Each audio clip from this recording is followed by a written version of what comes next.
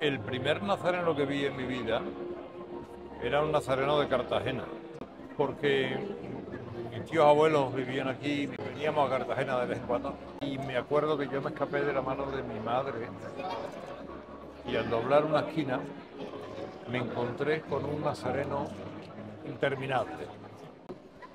Y me quedé absolutamente impresionado porque era la primera vez que yo veía un nazareno. Y yo eché a correr despavorido y, y para mí durante muchísimos años, a pesar de que luego ya vivíamos en Sevilla, ya nuestro, el nazareno seguía siendo un recuerdo de Cartagena. 60 y algún año después he vuelto a ver si lo encuentro. Y yo lo que quiero agradecerle a Carlos es que en estos días donde seguro tiene una agenda muy apretada y mil compromisos, haya decidido estar de nuevo con nosotros y conocer un poquito mejor nuestra Semana Santa internacional.